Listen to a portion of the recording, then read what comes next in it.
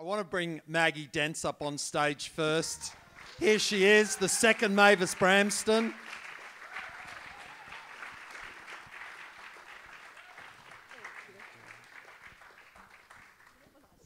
Anywhere you like, grab a seat. Take a mic. You can take a mic. Yep. Uh, the filmmaker Stefan Wellink. Please give him a round of applause.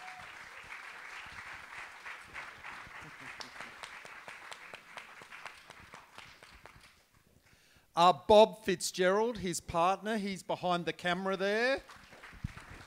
Bob will just set the camera and be up here in a minute. Anthony Ackroyd's in the audience. Come on up, Anthony.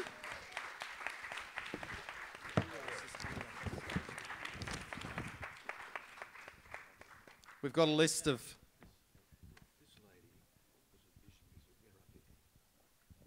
Anne Drummond is. We're very excited to have Anne Drummond here. Anne Drummond was the original vision mixer for Mavis Bramston show.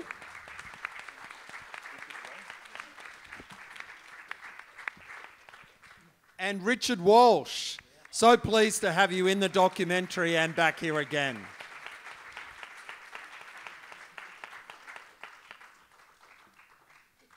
Nice to see you. Now, Stefan, we might start with you. I know this is this documentary has taken you years and years to make. For example, those interviews with Maggie and Carol, they were done several years ago. How many years have you spent making this doco? Um, half a lifetime. Yeah. now, I think. No, um, it, it seems like it, doesn't it? uh, nine years to put it all together. Um, and it was really interesting because we, we met at the Golden Age Cinema, if you remember. Uh, No. Pat- okay. okay. Excuse me. We met at the Golden Age Cinema. Right, Exactly. yes. So, uh, and, and those interviews that you saw, uh, except for, for Barry, uh, were all done there, and Anthony, We were done down in Bowral. And it was one of the most nerve wracking days of my life because I, I said, I'd love to have a clear set now. Would you mind leaving the room? And they all went and got chairs and just sat around and just, just watched, you know, as we did the interviews. And it was, uh, it was quite a baptism of fire, but I was at times I felt like I was in another world doing doing those interviews because I, they were people I'd watched as I was a young boy growing up, and there I was sitting across from Carol Raye and, and Maggie and and David Sale and all those wonderful people that you saw, and it was like a dream come true. As is having it being shown here in this theatre, which I succumbed to as a very young boy. Um, it's a real thrill to be here, and thank you all, by the way, for, for coming out.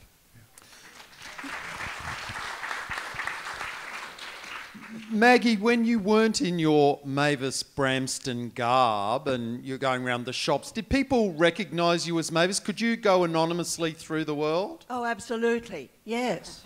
Well, I hope so. yes, no, it was, it was not a problem at all, thank God. I was lucky. Were you ever worried that you were going to be typecast to be uh, uh, to be in comedy shows, even though you were an actor? I was, a, yes, I was concerned, and it did carry over for about, because I was actually in the show only for 1965, but it does say that I was there till 1968. So I didn't actually do much television in those days, except on things like game shows, which were sort of the bread and butter. And, um, but I went back to the theatre, so I was fine. But it did make me paranoid about being too well, too long in a show, so which is why I left the Sullivans after a short time. Just kept moving on. Anthony, you had some uh, fantastic things to say about satire. And when we did a screening like this in Avoca Beach, someone in the audience asked why Australian TV doesn't do this type of comedy show anymore. I mean, we know the ABC, you know, gives it their best shot, but for commercial TV, it just doesn't seem to happen at all. What's your theory on why we've dropped off doing this type of comedy now? Yeah, that's a really interesting question. Um, yeah, it's so, uh, you know, comedy is king in the United States and in England, and satire is, you know, the jewel in the crown. So I'm not sure why it doesn't take off in, uh, maybe it's not held in the same regard, uh, which, which is why I think it's just, you know, this documentary is just fantastic, and all you know, all the performers and all the people on the stage uh, should be applauded for you know all that groundbreaking. Uh, sowing the seeds of so much that came after. So I wish I had a simple answer for you, but I certainly agree we need more of it. Do people agree? More satire yeah. in Australia? Yes. Um, I mean, Stefan, uh, we all think that this is an important show. We're here today.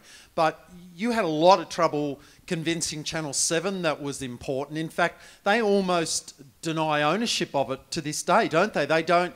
They won't even admit to you that it's a show that they made in-house. They're, they're so uninterested today. That's right. They didn't want to release any of the Mavis Bramston footage to me. And they said their lawyers told them, and this is the archivist who told me this, their lawyers told them that they didn't own the copyright on the show. And I said, well, you better look at the end of each program. It says copyright ATN Channel 7. Mm-hmm.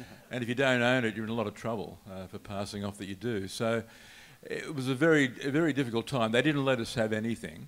Um, we were able to, uh, to get hold of the footage that you've seen uh, through private means.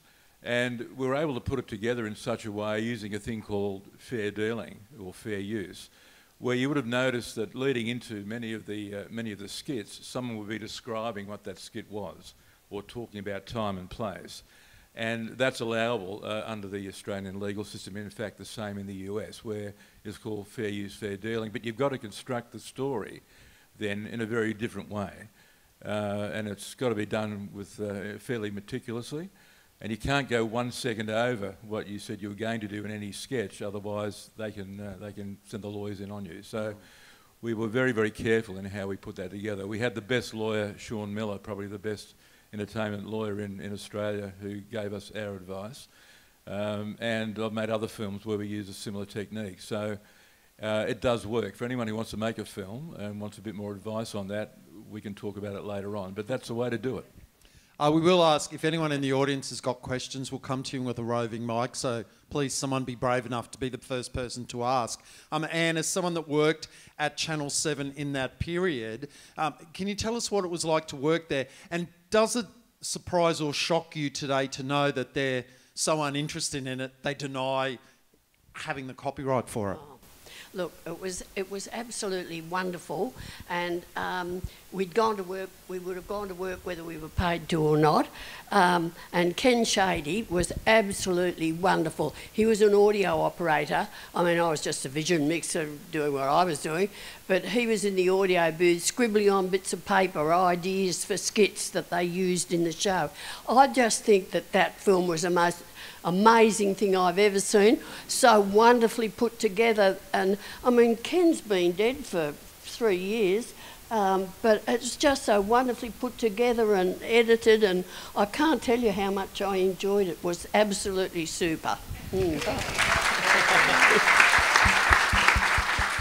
Vision mixing is a, is a real art because you don't want to miss this great reaction from somebody. So, did you attend rehearsals and were you kind of, which actors played well to the cameras and how did you know when to switch? Oh, well, the director tells you what to do all the time. And, I mean, there's a bit of a time lapse between when he says and you do whatever, fade in or out or do it abruptly or whatever. So it's a, a bit of a combination effort, yeah. Mm. But it was live to air. Yeah. It was amazing, really. Yeah. Maggie, you talk about the adrenaline rush of, you know, actors getting scripts, you know, literally as they were they're going to air. I mean, it, tell us about how that was. I mean, is that because you had theatre training, you were kind of used to that, and does adrenaline give you a better performance? Well, I think adrenaline certainly does help, but you know, to make the show topical, obviously they waited till the very last minute, and that's why Gordy Carol and Barry carried those clipboards because they didn't see those until that very last minute. And that made it very, very topical. And I think it was a, a rule that it had, the show had to go out within the week because the next week, of course, it was going to be even more topical. But I think one of the things that was wonderful about that period was that you had Rags Rupert Henderson. There's a nice Rupert there. Um, there's a proper Rupert. Uh, so you had Rupert Henderson, you had Jim Osborne, and you had Harry Chester, who was also known as the Smiling Axeman, because um, he used to go through the uh, uh, money bags and see what was being wasted. But what you had, of course, was Channel 7 as a proper, a proper station. Mm. It had a huge wardrobe department. It made sets. It had proper dressing rooms. I mean, it was a complex. There's nothing like that now. No. There is not, you know. So doing a show like that would become very difficult just from that point of view. And Ken Shadie was a staff writer. Mm. And Lynn, oh, Lynn, there was a Lynn who worked with him, and I'm ashamed to say I can't mm. remember her name. But they were the staff writers, and they'd been working there for a long time. All mm. that was the backup. Mm. So the people like Michael Plant and David Sale and Johnny Finlayson and that, that, all that mm. mob could focus on the show because everything was just this wonderful team that would take over every other aspect of the show. How we miss it. Yeah. Now, Richard, you of course weren't there to see a lot of this stuff being made, as you talked about, but you revealed to us at Avoca that you, was, you were a struggling student. You didn't even get to see the show go to air because you couldn't afford a TV set. How much did TVs cost back in the day? I have no idea, but I certainly didn't have one. And I was, uh, I mean, we forget. I mean, you know, this is very early days of TV. TV had begun in 1956, so it's in the first decade. I mean, coming back to points that have been made in the production side, you know, all these stations did have big production, big staff. You know, one of the, the answer to your question is why we don't have this on commercial TV today is that none of them have any staff. Yeah. And, and because of that, they've lost their creativity. Creativity was built into the fabric of, the, of each of the stations mm. because shows were being made there. Mm. There were musicians and, and scriptwriters and so on. I wasn't on staff, but um, uh, so that gave a texture to how tele- television come out of radio, and radio had been entirely produced in house. You didn't have pro- production companies. You had you did have pa- Colgate Palmolive crew, but but and so on. But but anyway, it's a different world. Um, but but coming back to it, yeah, I mean, it, you know, the homes did not all have television, mm. and as students, where we were kind of floating between you know, couches. um, I didn't have access to TV, so I didn't really see very much of my material. Uh, I knew it was there, and I knew I got a check, and I knew what which ones they'd used. I knew that because talking to Rag's office. Um, yeah, it was a bit disappointing. a bit disappointing. And I, I love uh, you know, the, the, the, little bits of mine that were there tonight to remind me of. of uh, I can't believe I could write like that.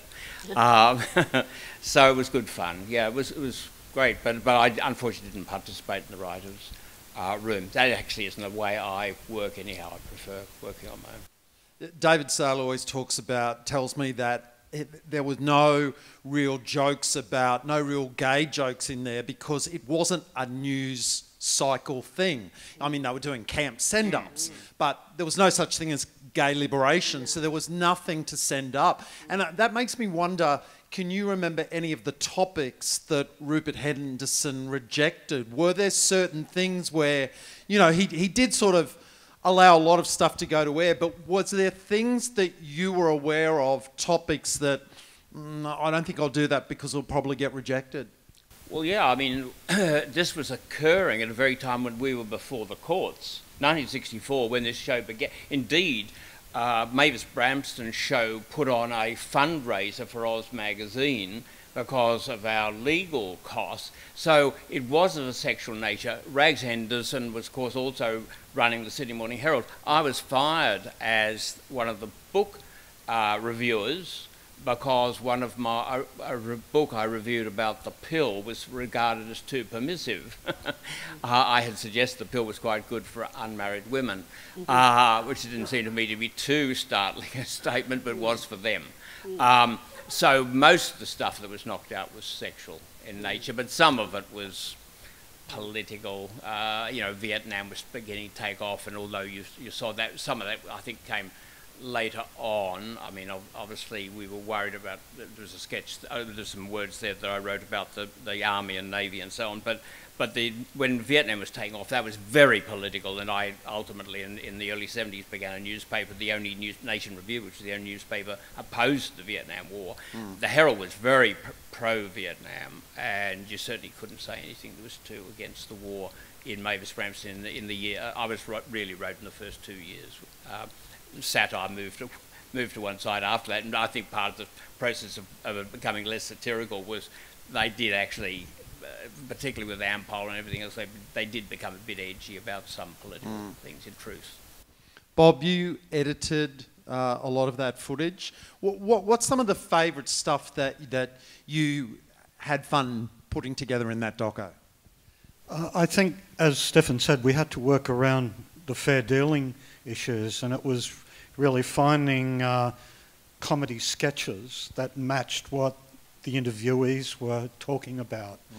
And of course, we had to go through, and I think Stefan spent a couple of weeks. I think he went down to the National Film Archives with him and looked yeah. at every episode mm. that was available of the Bramston show. So I ended up going through most of those too yeah. in the edit suite, and uh, it brought back a lot of memories. I, I think I was 17 at the time the show went to air. I didn't really take a lot of notice at the time because I was doing other things, but I kind of learnt in the editing process about a lot of things of the time that I kind of missed out on mm-hmm. because as a 17 year old, I wasn't really politically aware of what was going on, and it was kind of uh, like you live in the moment. It's only when you reflect back on history that you think, my God, that was a significant time. Yeah. We didn't realise how important and how much change was happening. Incredible. Do we have any questions in the crowd? I'll come running down to you with a mic. Anyone? Yeah, someone's going to be brave. Here we go.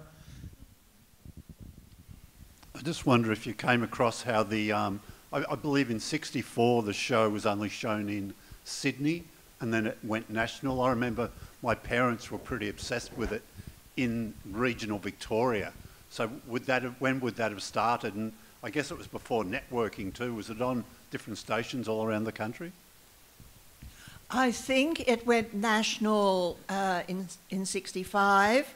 Um, and basically, I think it went out over most stations, but certainly there were towns that didn't get it, which was a little tricky for me when I turned up as Mavis under, under instruction from a Ampol to open a new petrol station, and nobody had the clue where I'd come from and what on earth was I doing.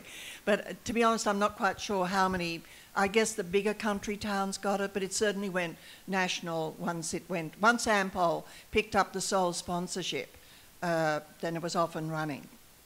A quick one to Richard too, while I've got the mic. Richard, you've worked with a lot of executives during your time in corporate Australia. Uh, it struck me how um, Rags Henderson was so involved. I mean, you'd send him the copy he'd edit it. It was almost like a script editor and forward it on if he approved it. Did, was that common? Did you find that with many pe other people you worked with? I know Kerry Packer was famous for his critical response after something went to air, but many of them get involved in the creative process. No, I, I, to be honest with you, I think Seven was pretty desperate to put the show on and I think it was alluded to somewhere. I, I heard. I mean, uh, clearly Nine was very strong, was the number one network, and Ten, which was then O and Ten, were about to begin. I mean, the answer to your question is that that people like Packer, so Frank Packer in this case, in those days, were just absolute kings of their network. They, they, they, there was no room for any uh, rebellious uh, things. I mean, they were very famous. Frank Packer was famous. If his horse won on Saturday, he would ask the station to run it. He would ring the station, ask them to show it at 10 o'clock at night because he had some people over for dinner who hadn't seen the race. Um, and, and the show, whatever was showing, you know, Gone with the Wind would be stopped and we'd have the seventh race from Randwick because Frank's horse had won it. Um, so uh, this was the only situation, I think, anywhere where the ownership didn't have very great control. It was live. Uh, it was very dangerous, live, uh, and um, and, and a lot of the script writers like myself were freelancers and so on. So I think that Henderson felt that he had to uh, control it, and I uh, certainly because I did other writing, of course, in those days. Uh, I've never struck anything remotely like that before, but I think it was because it was live, because it was topical. It's obviously quite hot. They love the control. They love the frisson of controversy, but they didn't want to lose the adver- they didn't want to lose the advertiser and didn't want to. Uh, yeah, they were all snobs. They didn't want to, you know, uh, lose their place in Sydney society for what that was. Thank you. I mean, we had network bosses back then, they were kind of scary, but they loved TV, didn't they? You know, did you get the feeling that Rupert Henderson really loved making TV?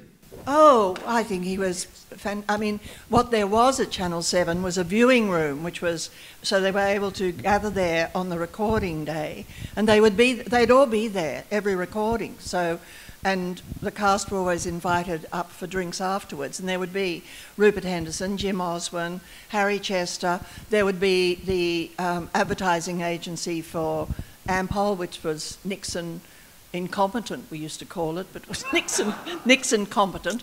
And, uh, and so they'd be there. And it was, it was a big mob, actually. And also the heads of Ampol would be there. So Sir Mac Leonard would be there and I'm afraid I can't remember all their names, but that was a big mob of important men who would be watching the show every single recording. They were always there. I, the only censorship I recall was uh, Kevin Colson, who was a musical theatre performer, was doing a number, and it was doing a number about cow cockies. And Ampol stepped in and were concerned about the farmers that bought Ampol petrol. So that's the only time I can recall that they pulled a number. But obviously, from what Richard's saying, numbers were pulled prior to that. They didn't, they didn't get learnt. Yeah. But, but Kevin, yeah, had learnt the number. Uh, question from the audience. Uh, yes, uh, thank you very much. Fabulous documentary. I just wonder how long did the three of them stay together, Carol Raye, Gordon Chater and Barry Creyton? So they didn't do the whole four years? What? They did the, uh, Carol, uh, they did the shows in 1964, and then when the show started in 65, Barry, Carol, and Gordy, and then Carol left at some point during the year.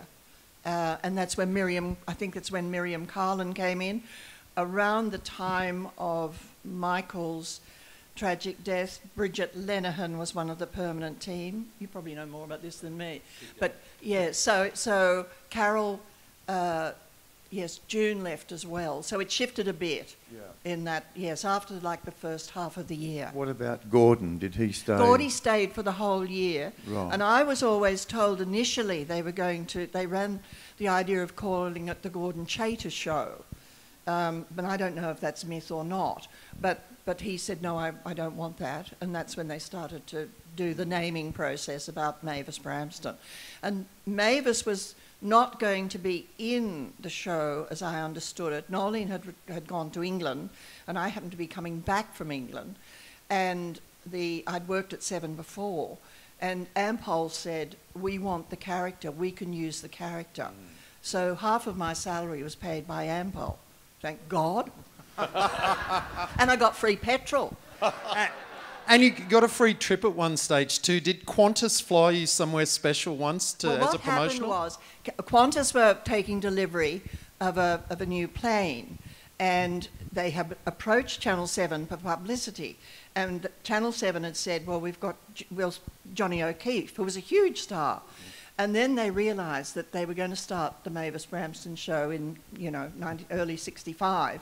So they said, well, we wanted to do a mock-up of Mavis arriving, so we'll send Mavis, and she can do the big entry. So I was sent to the Boeing plant in Seattle, and which was a fantastic experience because the plant is extraordinary. You know, to see all those planes parked undercover, well, of course, um, was just amazing. And they so the plane, I can't remember which one it was. So the plane was virtually to be empty. It was going to be kitted out here. So they just had seats for the crew, which happened to be all of Qantas's top pilots and uh, co-pilots because they'd been over to learn about this plane and me. And uh, the plane being almost empty, they decided to dress it. So they gave me a, a bedroom and they gave me a games deck area and a sitting room. So that's why that's where I was travelling. We stopped at Hawaii because we had to refuel, and I was seen skipping along the beach. None of this was ever seen. And then I arrived, and the, what was really sad was that they, they, they showed the plane landing, but then they did a cut. And the next thing was you saw me coming down the steps. So it could have been a total mock up. You know, but it wasn't. I mean, it was all that energy that had gone into doing this flight. I don't know what Qantas felt. Probably still taking revenge, if you know what I mean. Are questions from anyone in the crowd? Any more questions? Just while we're talking about it, uh, Maggie, James Manning and I do a podcast called TV Gold, and we talk about, you know, we've just done our best and best for the year, and uh, we both absolutely love The Lost Flowers of Alice Hart, Oh. which you can watch on Prime Video. It's such an extraordinary standout TV series this year. Will you be in the next series of Heartbreak High when that launches on Netflix soon? Yes, I will, and I've got a boyfriend who's here today called Peter Carroll. Stand up, Peter Carroll. Stand up. Get up. You will still be my boyfriend. It's what we've filmed. It hasn't gone to air yet. Well, We're hoping it'll spin off to a series that'll be limited, I suppose. Yeah, but, sounds um, great. Yes. Uh, we've had to have intimacy counselling, which was quite, quite strenuous, wasn't it, PT? It was quite, you know. I have to say, I've spent my entire life with people saying to me when they do remember Mavis, oh, I watched you from behind a door. Yeah. And that made me feel like some sort of porn star, which I quite, I quite liked, actually. Stefan, what, what are your hopes now for the documentary? Where do you hope? Uh, you hope you- you're still trying to sell it, hoping someone might screen it, stream a network. What are you trying for? Well, we- we're looking for a, a, a distributor, um, a sales agent. Uh, Docsville has picked it up, which is a, a streaming platform. Um, I think you might be able to see that very, very soon on Docsville. Yeah. Um, no one else has expressed a lot of interest. I've, I've certainly been trying to get it out there. But I think the more of these types of screenings that we have, uh, the better the chance that someone will be there who'll say, listen, Yeah. let's do something. Because if you're not out there, you're not known, you know. Um, we've held off for too long, really, in, in doing this. We should have probably gone a bit earlier. But, you know, when you're a, a small independent filmmaker, we don't have the, uh, the, the PR machine like the guys have with the, uh, with, with the soccer film that's going on next door, you know. And, and it's, I'm not complaining, it's just, you know, you're kind of restrained by that, constrained by that. But, um, but it's been a, gr- a great, a great experience to make this film. Um, Bob has been great to work with. He's done a wonderful job on the edit. There's no, no question about that. He, he absolutely brilliant, Bob, and thank you. And we're, we're making another film um, now. Uh, where we're going to make, well, we started, we've done all the principal photography. We uh, film on Tommy Tycho is the next one that will will roll off at, at, at some point. We hope to still be upright, Bob, at that point, don't we? Well, Yeah, but uh, That's right, yeah. we hope to remain healthy. But but look, it, it's been an absolute pleasure making it. It's it's got to be a passion, and it has been for both uh, Bob and I. And I think just to meet the people that we've met, and I didn't know a lot really about Mavis. I was only ten when it premiered, but I've learned so much just going through the process of making the film and doing the research, and just meeting the wonderful people uh, like Maggie and, and others that I've met. And it was really Barry Creyton that kicked the whole thing off when, when I had a chat with him, and he was lamenting about not having anyone celebrate the 50th anniversary, which you heard him talk about, and that just got me thinking that you know I think this is a story that needs to be told. Uh, yeah. I think one of the highlights uh, for me, certainly, and Stefan, is that we showed the film to Carol Raye. Uh, it was in almost a final version, and we drove up to Kempsey where Carol was living with her daughter, and uh, we sat her down in front of a computer, obviously wasn't on a screen, and played the whole thing. And Carol talked throughout, uh, and she said, "I didn't say that." You know, like she really disputed quite a few things that, that she actually said she on was on camera. camera speaking. I didn't say that. That's Yeah. you, Carol.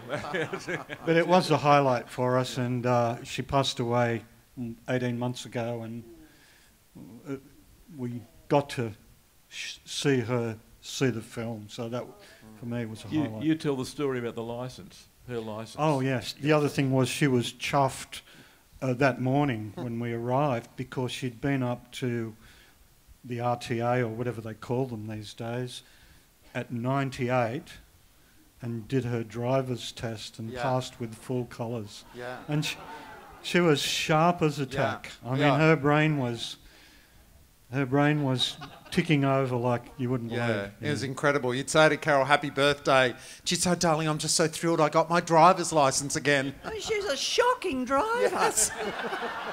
I mean, it's, truly. Yeah. She had an accident driving back from Marion Street where she was working and just sort of ran off the road. And the car went down, and then she just and she came out of the car spo- and crawled back up the road, and you know, summed a ride back. to- I mean, but a shocking driver. That's It might have been why she was so happy that she got it. that's the, where po- I'm the getting. point was that she never deteriorated. Well, she used to drive from Kempsey to Sydney. Yes, Like yeah. lo- w- w- long into her 90s. And I said, Do you honestly drive five hours? And, darling, I stopped for a cup of tea at Sheila's place. I said, That's still four hours drive. Yeah.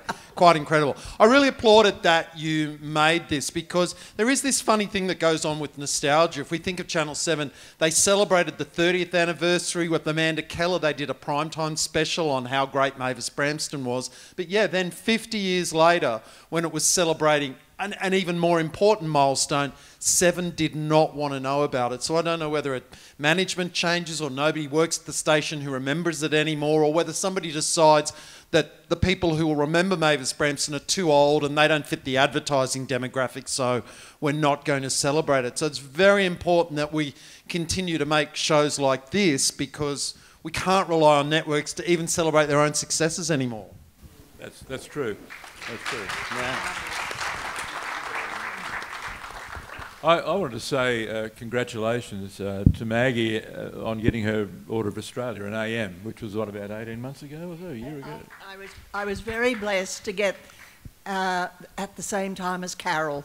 Yeah. And Carol knew that she'd received it. So it was very, very long overdue for Carol. I think it's just appalling that, you know, she, she really just was about to die. And, but she knew, and um, it's true that we wouldn't have had Mavis without Carol. She was extraordinary. And she had, that, what was wonderful about those people like Gordy and Carol and Michael Plant was so fierce about the show. And that's why Michael's death was really such a tragedy because I've got memories of Michael just up in that room that I talked about, having a drink and going at Rupert Henderson saying, no, we, you know, we this, this, this, you know. And that sort of, and so he was the fighter. And that's why those, those first, you know, shows are so wonderful in the first sort of six months of that first year.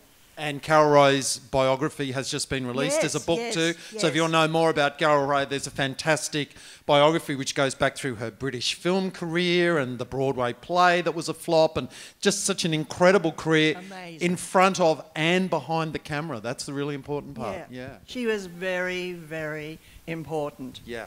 Yeah. A wonderful career. Please everyone give it up for the stars of the Mavis Bramston show.